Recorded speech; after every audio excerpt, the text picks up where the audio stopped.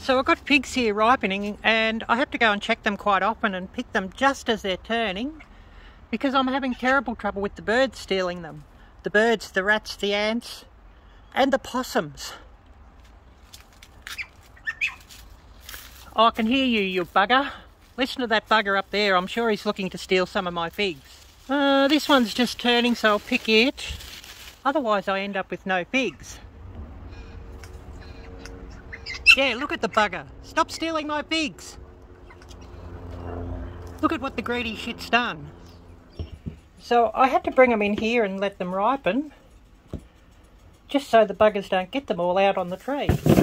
And when they're ripe, I just cut the stalks off them, give them a wash, and into this baggie, and into the freezer, and I'm freezing them until I've got enough to make some jam.